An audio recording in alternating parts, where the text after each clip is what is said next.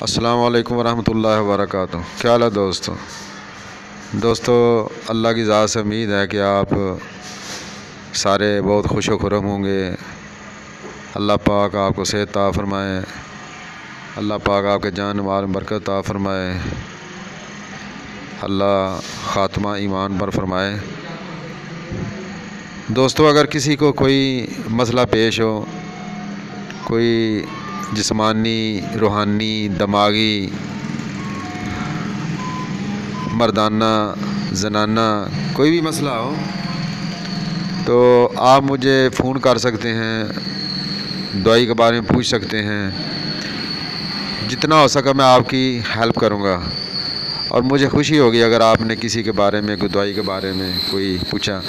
आप मैसेज ना किया करें। मैंने नंबर दिया है, ये जैज़ पे कन्वर्ट है, इस पर बात कर लिया करें। ठीक है सब्सक्राइब ज़रूर करें। अस्सलाम